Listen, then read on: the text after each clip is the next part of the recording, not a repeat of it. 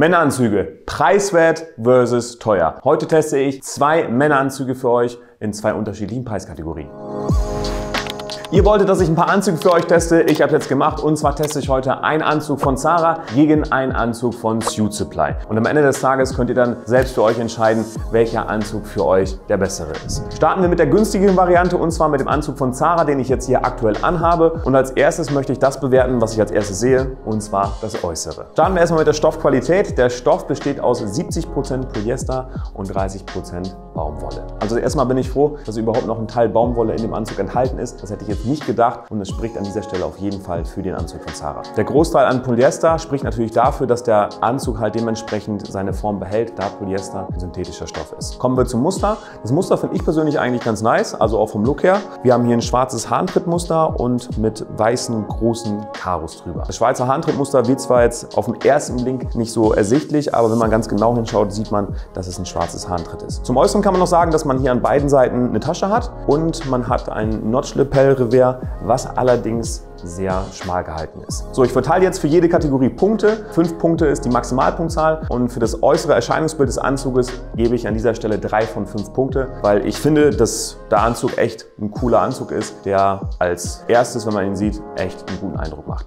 Kommen wir zum Innenleben des Anzuges. Beim Innenleben des Anzuges ist es so, dass das Innenleben leider Gottes aus 99% Polyester und 1% Elastan besteht. Wie eben schon gesagt, der Polyesteranteil ist natürlich gut, dass der Anzug die Form behält. Allerdings ist es so, dass natürlich bei diesem diesem Gemisch, ähm, sage ich jetzt mal, man schnell anfängt zu schwitzen und das bedeutet natürlich auch gleichzeitig, dass man halt auch schnell anfängt zu riechen. Wenn man sich den Anzug von innen einfach mal anschaut, dann sieht man, dass das Lining nicht komplett bis nach ganz unten geht. Sprich, dieses Lining nennt man Butterfly Lining, weil halt nur in Anführungsstrichen die Schulter, die Arme als auch ein Teil des Innenbereiches gefüttert ist und nicht der komplette Anzug von oben bis unten gefüttert ist. Sieht man hier an dieser Stelle ganz schön. So, was ein bisschen schwierig ist bei diesem Anzug, sind die Innentaschen. Denn ich habe hier auf der linken Seite eine Innentasche, also auf der rechten Seite eine Innentasche. Und bei der rechten Seite, die schon so klein, dass da vielleicht gerade noch iPods reinpassen. Und dann habe ich halt tendenziell nur noch eine Tasche zur Verfügung, weil man die äußeren Taschen natürlich nicht verwendet, um da irgendwie ein Portemonnaie oder ein Handy reinzutun. Von daher wird es platzmäßig ein bisschen schwierig bei dem Anzug, wenn man zum Beispiel Portemonnaie, Handy, Visitenkarte oder vielleicht auch noch einen Kugelschreiber verstauen möchte. Von der Konstruktion des Anzugs kann man erstmal gar nicht sagen, aber der Anzug ist halt an einigen Stellen anstatt genäht einfach nur geklebt. Das liegt natürlich daran, dass das hier Massenware ist, was ich trage. Zara produziert ja natürlich in Massen und da werden natürlich Teile des Anzuges geklebt, was natürlich von der Qualität her jetzt nicht das Beste ist. Punktevergabe für das Innenleben, da gebe ich einen von fünf Punkten. Kommen wir zu den Knöpfen. Das ist ein kleines Detail, was allerdings einen großen Unterschied machen kann. Denn wenn man jetzt hier zum Beispiel sieht, hier an der Manschette habe ich nur zwei Knöpfe, in Anführungsstrichen nur zwei Knöpfe. Und diese Knöpfe sind halt nicht funktional. Man kann diese Knöpfe nicht aufmachen, die sind einfach nur dran genäht. Am ganzen Anzug sind übrigens die gleichen Knöpfe vernäht, also alle in dunkelblau. Sprich, da gibt es hier keinen Kontrast. Dementsprechend kann man auch kein Highlight setzen mit den Knöpfen. Denn wenn du zum Beispiel irgendein cooles Accessoire hast, wie zum Beispiel ein Einstecktuch passend zum Knopf, dann kann man natürlich sowas nochmal schön unterstreichen. Was bei den Knöpfen allerdings positiv zu bewerten ist, dass man Minimum einen Ersatzknopf hat und zwar im Innenleben des Anzuges befindet sich ein Ersatzknopf. Das ist allerdings ein großer Ersatzknopf. Wenn zum Beispiel hier vorne mal einer abfällt, dann hat man da auf jeden Fall Ersatz. Bei den kleinen gibt es leider keinen Ersatz. Punktevergabe bei den Knöpfen gebe ich zwei von fünf Punkten. Machen wir weiter mit dem Fit. Der Anzug sitzt für meine Verhältnisse relativ gut, muss ich echt sagen. Also sowohl die Hose als auch das Sakko. Ich starte jetzt aber erstmal mit der Hose. Die Hose ist generell sehr modisch geschnitten, da sie A unten einen Umschlag hat und B auch relativ kurz geschnitten ist. Also für manche Anlässe wäre die Hose einfach schon ein bisschen zu kurz geschnitten. Zusätzlich kann man zu der Hose noch sagen, dass sie oben am Hosenbund echt sehr gut sitzt. Man hat hier zwei Knöpfe, um die Hose vernünftig zu schließen und damit die Hose auch dementsprechend gut hält. Man hat auch die Möglichkeit, hier noch einen Gürtel dran zu machen. Also es sind noch Gürtelschlaufen hier an, an der Hose dran, die ich persönlich hier allerdings gar nicht brauche, weil die Hose wirklich gut sitzt. Kommen wir zum Sakko. Das Sakko sitzt auch sehr gut, ist etwas sportlicher geschnitten, also liegt einfach ein bisschen enger an. Und wenn wir die vier wichtigen Punkte beim Sakko bewerten, sprich die Ärmellänge des Sakkos, die Schultern des Sakkos, als auch die Taillierung und die Länge des Sakkos, muss ich sagen, kann man die ganzen vier Punkte eigentlich relativ positiv bewerten. Das Einzige, was halt ein kleiner Makel ist, was heißt Makel, es hängt auch ein bisschen mit dem Schnitt zusammen, ist die die Sakko-Länge, die ist einfach ein bisschen kürzer als normal, weil der Anzug halt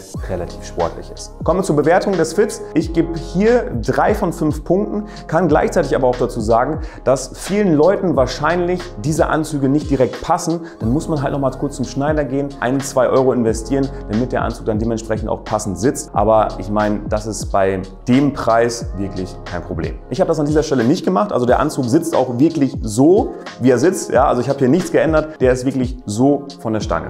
Kommen wir zur Beratung. Da gibt es, glaube ich, gar nicht großartig viel zu sagen, denn bei Zara gibt es keine Beratung. Punkt. Man kann natürlich sagen, hey, ich brauche das Stück vielleicht noch in einer anderen Größe. Da kommt vielleicht mal jemand vorbei und bringt dir dann zum Beispiel das Jackett oder die Hose in einer anderen Größe. Aber das war's. Man hat da keine äh, Fachkompetenz oder Leute, die sagen, hey, äh, probier doch mal das oder das ist vielleicht nicht richtig. Deshalb kann ich da an dieser Stelle einfach nur 0 von 5 Punkten vergeben. Kommen wir zum Preis. Über den Preis brauchen wir eigentlich gar nicht diskutieren, denn der Anzug war so günstig, weil ich den Anzug damals im Sale gekauft habe. Ich gehe jetzt aber mal von dem regulären Preis aus und der reguläre Preis würde circa bei 100 Euro liegen. Und bei 100 Euro für so einen Anzug, Leute, da kann man wirklich gar nichts sagen. Deshalb gebe ich an dieser Stelle auch 5 von 5 Punkten für den Preis. Meine Empfehlung bei günstigen Anzügen, wie zum Beispiel bei diesem Anzug, ist, dass man halt mit kleinen Accessoires, sei es ein Einstecktuch, sei es eine Krawatte, also eine hochwertige Krawatte oder ein hochwertiges Einstecktuch, den Anzug einfach ein bisschen aufwerten kann. Wenn zum Beispiel der Stoff nicht der hochwertigste ist, dann hat man so halt die Möglichkeit, mit kleinen Details diesen Anzug einfach ein bisschen nach oben zu katapultieren. So Leute, ich war in der Garderobe und habe jetzt meinen Anzug von Suit Supply an. Und eins kann ich an dieser Stelle schon mal sagen, Leute. Ich fühle mich direkt mehr Boss. Um natürlich beide Anzüge halt halbwegs miteinander vergleichen zu können, habe ich mir hier bei Suit Supply auch ein ähnliches Modell ausgewählt, was vom Schnitt her und auch von, vom, von der Art des Anzuges her sehr dem von Zara ähnelt. Starten wir bei dem Anzug auch mit dem Äußeren. Hier haben wir ein Mischgewebe und zwar aus Seide, Baumwolle und Leine, anders als beim Anzug von Zara. Allein an dem Gewebe kann man schon erkennen, dass das Gewebe natürlich wesentlich hochwertiger ist als das Gewebe bei Zara mit Polyester. Das Muster ist ein bisschen anders als beim Anzug von Zara. Wir haben jetzt hier ein, Fischgrätenmuster. Was allerdings sehr interessant ist, ist, dass das Fischgrätenmuster tatsächlich aus drei verschiedenen Farben besteht. Ein hellblau, ein marine und ein weiß. Aber im Großen und Ganzen kann man auf jeden Fall sagen, dass der Anzug unabhängig jetzt vom Muster sehr dem Anzug von Zara ähnelt. Vom Äußeren muss ich sagen, der Anzug gefällt mir definitiv und ähm, ja, ich tue mich immer so schwer damit, 5 von 5 Punkten zu vergeben, aber ich gebe an dieser Stelle 4 von 5 Punkten.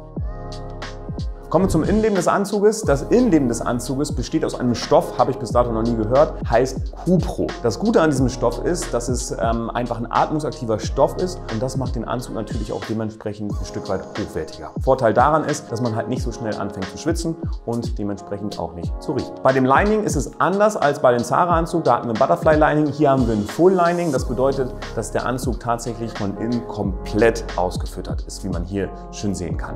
Das Tragegefühl von diesem Cupro-Stoff ist tatsächlich sehr angenehm. Also wenn man in diesen Anzug reinschlüpft, dann merkt man, dann hat man einfach direkt ein anderes Gefühl, wenn man reinschlüpft, als bei dem Zara-Anzug. Muss man einfach so sagen. Was bei dem Innenleben allerdings noch sehr positiv zu bewerten ist, sind die Taschen. Beim Zara-Anzug hatten wir nur anderthalb Taschen, sage ich jetzt mal. Es waren eine große, eine kleine Tasche. Und hier haben wir tatsächlich mehrere Taschen. Und zwar auf der linken Seite haben wir insgesamt drei verschiedene Taschen in drei verschiedenen Größen. Und auf der rechten Seite auch noch eine Tasche. Also hier haben wir definitiv genügend Platz, um unser Handy, Portemonnaie, Visitenkarten, Kugelschreiber oder was auch immer noch unterzubringen. Also das ist definitiv sehr positiv zu bewerten. Übrigens habe ich mir noch sagen lassen, dass der Anzug Half Canvas ist. Das bedeutet, dass vorne eine Rosseinlage vernäht worden ist und das ist natürlich klar ein Anzeichen von Wertigkeit. Punkte für das Innenleben verteile ich diesmal, auch wenn ich deutsch bin, ja, tatsächlich 5 von 5 Punkten, weil der Tragekomfort ist einfach super und mir gefällt es halt extrem gut, dass ich halt genügend Platz habe, weil ich bin immer so ein Typ, ich brauche immer meinen Platz, wo ich meine Sachen verstauen kann. Kommen wir zum Thema Knöpfe. Hier sieht man mal wieder den Unterschied von einem günstigen zu einem wertigen Anzug. Denn wir haben hier an der Manschette vier Knöpfe an beiden Seiten und zwar sind dies diesmal Kissing Buttons. Das bedeutet, dass die Buttons halt aufeinander aufliegen, halt so die Knöpfe und die Knöpfe sind nicht nur angenäht, sondern auch funktional. Heißt, du kannst die Knöpfe auf und wieder zumachen. Zusätzlich kann man noch sagen, dass man halt einen Kontrast hat bei den Knöpfen. Man hat hier einen hellblauen Anzug und dunkelbraune Knöpfe. Dementsprechend hat man einfach einen schönen Kontrast und kann auch hier und da mit einem Accessoire, zum Beispiel auch mit Schuhen oder einem Gürtel, ein Highlight setzen. Und wenn du die Innentasche aufmachst und mal schön in die rechte Innentasche reinpackst, dann siehst du, dann hast du da auch noch zwei Ersatzknöpfe und zwar einen kleinen für die Manschetten, aber auch einen großen für vorne. Was die Knöpfe angeht, vergebe ich vier von fünf Punkten für die Knöpfe. Wenn du übrigens weitere Informationen haben möchtest zum Thema Outfits und Styling, dann lad dir einfach mal das E-Book, den Men's Style Guide runter. Da kriegst du einfach ein paar Informationen zum Thema Outfits und Styling und mit dem Gutscheincode DanielQuarte20 bekommst du 20% Rabatt auf dieses E-Book. Bevor wir zum Fit kommen, muss ich dazu kurz was sagen. Beim Fit ist es halt so, dass du bei Zara die Möglichkeit hast, verschiedene Größen zu wählen. Sprich, wenn du zum Beispiel eher die Pumperfigur hast, also oben breit bist und unten schmal, hast du die Möglichkeit, einen Sakko auszuwählen, was sehr groß ist und halt eine Hose auszuwählen, die sehr schmal ist. Bei Suit Supply ist es allerdings so, dass du einen Anzug in einer Einheitsgröße kaufst. Dementsprechend sind Sakko und Hose in der einheitlichen Größe. Das bedeutet wiederum, dass du bei Suit Supply wesentlich größeren Aufwand hast, den Anzug zu ändern, wenn du zum Beispiel halt so eine Pumperfigur hast. Legen wir jetzt los mit der Hose. Die Hose ist einfach ein bisschen weiter geschnitten als die Zara Hose und ich habe jetzt hier die Hose auch ein bisschen kürzen lassen, also von der Hosenlänge her und habe hier keinen Umschlag wie bei der Hose von Zara. Generell muss ich aber sagen, sitzt die Hose jetzt wirklich perfekt, nachdem ich sie habe ändern lassen. Was allerdings noch sehr positiv zu bewerten ist bei der Hose, ist folgendes folgendes, dass du drei Punkte hast, um die Hose zu schließen. Heißt auch natürlich ein absolutes Qualitätsmerkmal. Du hast drei Knöpfe, um die Hose zuzumachen und das gibt mir natürlich auch ein richtig schönes, sicheres Gefühl. Auch hier bei dieser Hose haben wir Gürtelschlaufen, ähnlich wie bei der Hose von Zara und wir haben hier noch ein kleines Detail und zwar noch eine Tasche hier an der Hose, auch ein schönes Detail. Wenn du zum Beispiel mal einen einzelnen Schlüssel einfach irgendwie verstauen möchtest, ist diese Tasche dazu perfekt. Kommen wir zum Fit des Sakkos. Das Sakko ist ähnlich sportlich geschnitten wie das von Zara und sitzt auch sehr gut gut. Wenn man die vier Punkte wieder durchgeht, sprich Ärmellänge, Schulter, Sakko, Länge und Taillierung, hat das alles ganz gut gesessen. Ich habe hier allerdings eine Änderung vorgenommen und zwar bei der Taillierung. Ich habe das Sakko einfach ein bisschen schmaler machen lassen, weil ich das einfach persönlich ein bisschen besser finde und dann sitzt es einfach noch sportlicher. Zusätzlich kann man zum Sakko noch sagen, dass wir hier auch an beiden Seiten eine Tasche haben, also aufgesetzte Taschen und das Revers ist ein Notch-Lapel-Revers,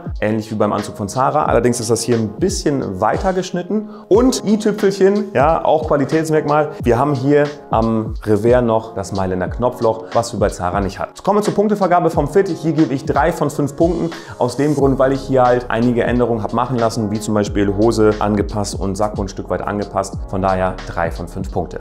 Kommen wir zum Punkt Beratung. Beratung kann man nicht anders sagen, war bei Suit Supply 1A. Du hast da wirklich Leute an der Hand, die tagtäglich nichts anderes machen, außer Leute beraten bei der Anzugwahl. Also von daher kann man das einfach nur noch mal positiv unterstreichen, das ist wirklich top. Also wenn du auf Nummer sicher gehen möchtest und auf jeden Fall Beratung haben möchtest, dann geh zu Suit Supply. Dementsprechend kann ich auch nur noch hier 5 von 5 Punkten geben. Nicht nur für die Beratung, also wirklich 1A, sondern auch ähm, für den Service, den du halt vor Ort hast, denn du hast die Möglichkeit auch dementsprechend noch deine Anzüge direkt vor Ort anpassen zu lassen. Kommen wir zum Preis. Der Anzug hat 3,99 gekostet und ich habe ja noch einige Änderungen machen lassen. Dementsprechend habe ich nochmal 80 Euro dafür extra gezahlt, sodass wir beim Preis bei bei 4,79 liegen. Ich gebe für den Preis allerdings 4 von 5 Punkten, weil das Preis-Leistungs-Verhältnis, ja, weil man hier auch eine wesentlich größere Leistung bekommt oder wesentlich mehr Leistung bekommt als bei Zara, passt das hier definitiv und dementsprechend 4 von 5 Punkten. Wenn wir die Anzüge jetzt miteinander vergleichen, dann haben wir einen ganz klaren Gewinner und zwar den Anzug von Suit Supply mit 25 Punkten im Vergleich